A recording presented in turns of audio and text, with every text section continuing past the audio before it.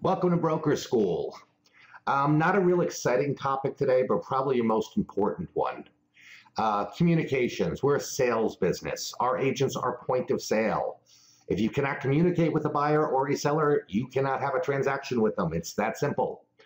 So I want to talk a little bit about phone systems, where they were, where they are now. And as you see the industry trending, we're going towards a virtual office environment. That's coming. I don't care what anybody says, it is happening.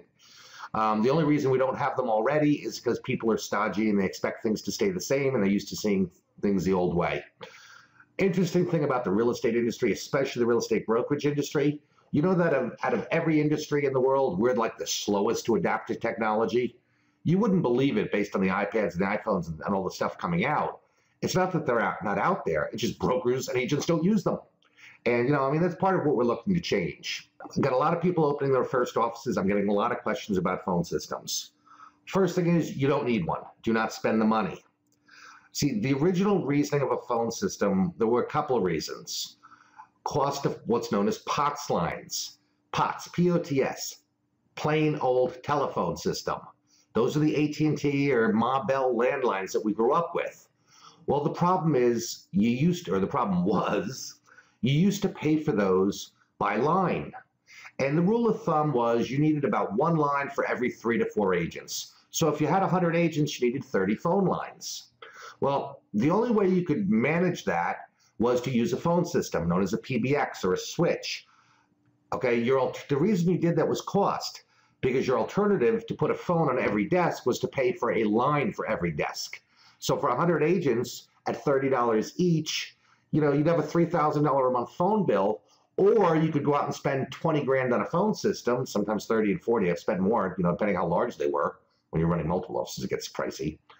Or you could buy a phone system and take those same 30 lines and use the PBX switch, your phone system switch, to manage the lines. Because you don't have 100 agents all using the phone at the same time. Hell, you're lucky if you have 20 or 30 of those agents in the office at the same time. But that was a good rule of thumb.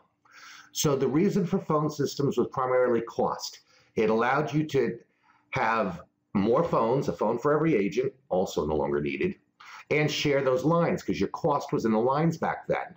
So nowadays, uh, there were some other reasons too. The internal switching was managing the lines, and it was cost. It was cheaper to have a phone system because you paid for less lines. And then you had voicemail when voicemail first came out, and that saved you labor cost. In other words, you didn't have a receptionist and a message pad. So that was to save labor cost. And then you had what's known as an auto attendant. For Sally, press one. Okay, auto attendants were great because again, it cut down on a receptionist time. So there were times when I had offices in the old days that had two or three receptionists just to manage and switch calls. Once we went to auto attendants, needed one. And hell, she did was more admin work. Nobody needs a receptionist anymore either. You have an admin who can answer the phone if they have to. So that was the reason for phone systems. You don't need them anymore. Now what you need is simply one or two VoIP lines. I'm going to explain this. Every real estate agent has a cell phone. They prefer to use it. And God forbid you find an agent without a cell phone today. Are they really in business? Back to the phone system, voicemail. Cell phones have voicemail. of course, I'm losing my voice. So you don't have to pay for a phone line for each agent, and you don't need to bring in a phone system anymore. They all have their cell phones. You need one main line coming in for your office. And that's pretty much it. You as the broker would want a line for yourself, obviously. And if you have a couple employees, you know, admin staff, they need a phone line. But other than that, that's it. Go to VoIP lines. A lot of them, I will tell you the one that we use is called RingCentral, but I'm going to tell you some secrets about VoIP lines and systems in a minute. Um, all the software and everything that used to be done by a phone system that you paid for, back when you had to spend 20, 30 grand for them, they handle off in the cloud someplace. You don't have to deal with it. GUI, graphic user interface. That's a point and click interface. So if your receptionist does answer the phone and the customer calls in, they can click and the line will transfer to that agent's cell phone or whoever you want it to go to. So it's really all you need. You could literally open an office with a single VoIP phone line right now, have everybody work off cell phones. The fax to email integration is nice. And what you have now, and you don't need a separate fax line anymore, although who the hell uses fax anymore? I mean, everything's email. But some people still use faxes. Uh, almost every VoIP line, no matter where you get it, will have fax capability. So that's part of the auto attendant that's built in. It'll take the fax or it'll route the call. Again, included, no expense.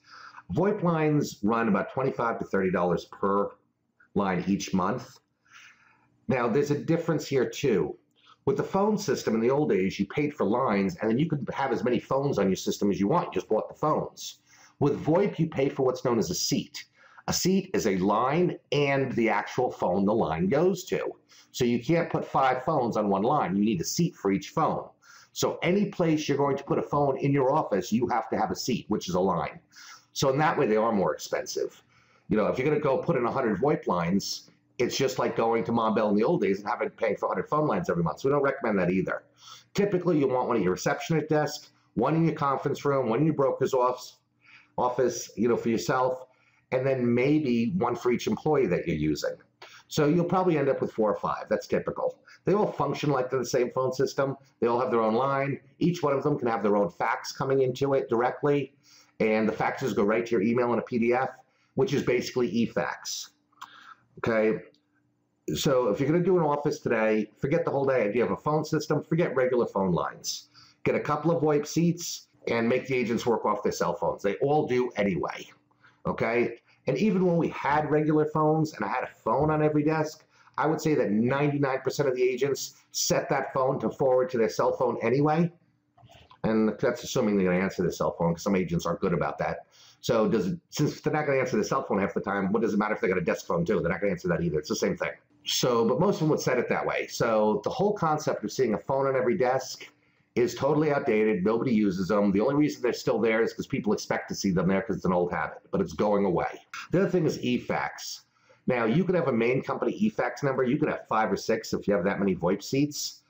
And they show up on somebody's email, whether it's you, your admin, and you can point and click and redistribute them. It's just forwarding an email. Uh, a lot of companies, um, they let their agents buy their own eFax accounts. They're about $5 a month for an eFax number that goes right to your email and you can send out or receive web-based. I mean, they're they're pretty cool technology. Um, I used to pay for them for all my agents. It was part of our system, or you could let them pay for their own. There is one caveat though, and I'm going to get to that next. Okay, the only way I would let agents have their own eFax account is if it went to their company voicemail or excuse me, their company email. That's really, really important. You need records of every document on every transaction. So we're talking about communications, and I hope I've answered you, you know, the questions I've been getting on phone systems. And basically, you don't need one. Um, and if you have a, any other questions on it, give me a call. More than happy to talk to you about it. Pop you an email. It's so cheap to open and run a brokerage office nowadays. But I do want to talk about emails. This is really important.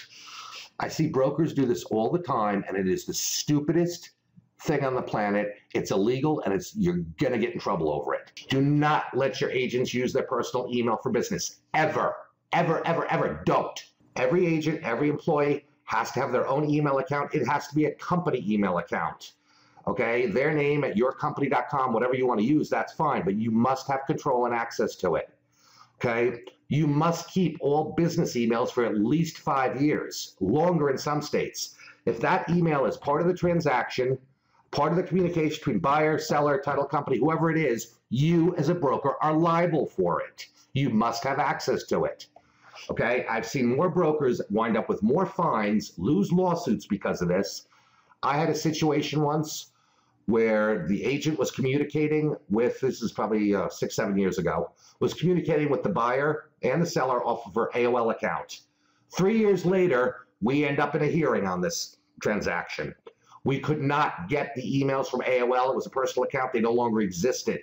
Had she used her company email account, which archives, I would have had access to it. Because we couldn't prove the email chain of what we knew to be correct, we lost. And thankfully, it wasn't bad. It was a fine. They got some, eh, it doesn't matter. The point is, it's a really bad thing. Do not ever let your agents use personal email accounts. Other thing that happens, you have agents leave all the time. Turnover in a real estate brokerage office is about 30% a year for agents. When that agent leaves and they've got a transaction in process, those emails are part of the transaction. You need to be able to get to them to work on that transaction. Okay, you need those records. If they leave and it's your company email account that you gave them, you have access to it. You can lock them out of it the same day, save it, you've got it. Very important. Email accounts. Now, email servers. I used to run my own Outlook Exchange server. It cost about 60 grand. But at the size we were and the capabilities, it was cheaper than paying for individual email accounts, you know, through like Google Mail, which is who I'd recommend now. Google Mail has phenomenal company email accounts. You get every feature on the planet, web-based. It'll integrate with every other email account. Like I use Outlook through it, but you have control of it. Very, very cheap now, about $50 a year per account. And what's nice about this is you don't have to buy one each time you get a new agent. One agent leaves, you simply reassign that email account to the new agent, whoever you hire to replace them, and change the name. So it's really easy. Back it up, reuse it. So it's not as expensive as you think. The other thing is you can use multiple names on each email account. I can be mkrein at NRBA, I can be mkrein at mkrein.com. I can have five or six different email addresses assigned to that account. So that's great if you want a BPO department at, REO department at, admin at, control at, accounting at. You can set up five or six different departments that each apparently have their own email address. They're all coming to one, one account, which is yours. So you can do some really cool things with it too. But I, I cannot say this enough. Do not let your agents use personal email ever. Not for business. It should be an automatic firing if they're caught doing it because, oh, the liability is horrible. I'm not big on broker liability because there really isn't that much. This is one you can get nailed on. So we're going to title this whole thing communications. So we've talked about phone systems and we've talked about email. That's your main source of communication. You must have control over them. Right? Any questions on any of that, feel free to pop me an email. More than happy to answer it. But these are the two things you want to deal with. And keep an eye on this technology as well. It's becoming much more affordable. As we move towards more, and I'm going with this term virtual offices, this is going to be much, much more important. Thanks.